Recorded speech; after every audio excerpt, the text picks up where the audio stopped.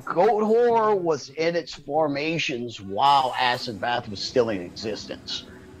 It was kind of like a side project that I had with a friend of mine, which was the drummer, Zach Nolan, who played on the first couple of Goatwhore records.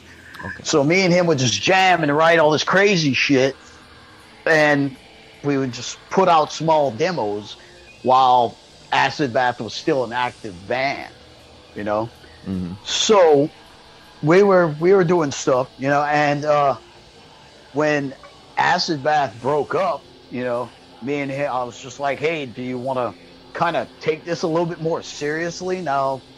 We already kind of have an established thing going on. We know that we write really good together, so why don't we just kind of refine what we've started and kind of just work that in and start Goatwhore.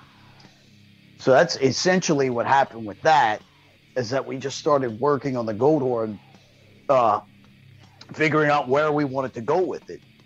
You know, because when we first started, me and him were jamming. It was more, it was, it was way more primitive than what it is now. Let's just put it that way. Oh yeah, yeah. and uh, then you know something happened. I had a talk with Kirk, and I don't exactly. It was at a Pantera concert. We were drinking, and then I ended up in Crowbar. Basically, that's how. That's basically how that happened.